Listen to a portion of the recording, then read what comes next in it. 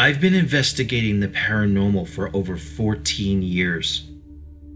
I've explored otherworldly realms in many places, such as old structures said to be haunted with souls from their past, mysterious forests where your screams will echo,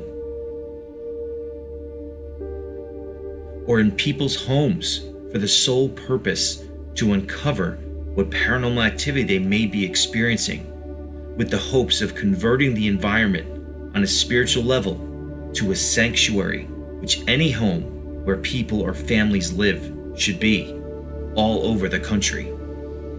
But there's one resonating force that has defined my path throughout this entire spiritual journey, and that is my faith.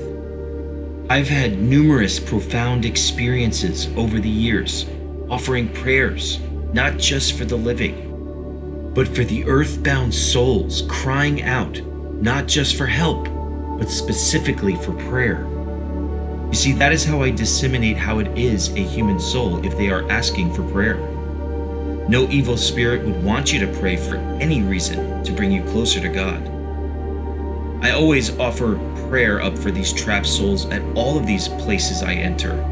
And on this one instance that just happened recently at an old cemetery in Connecticut, I was taken back at a spirit reciting part of the Our Father prayer with me while praying for them on the spirit box.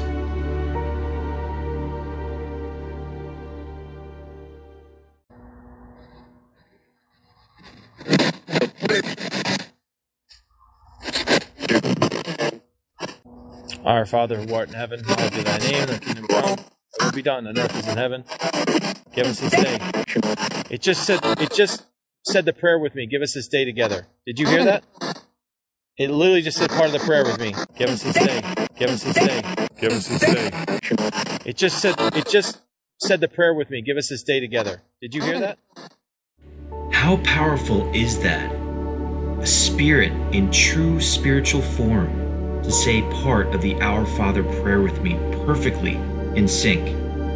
Not only presenting the intelligence of the Spirit and the legitimacy of this tool for communication, but from what I believe is conveying the Spirit's belief in the power of prayer, even after their death.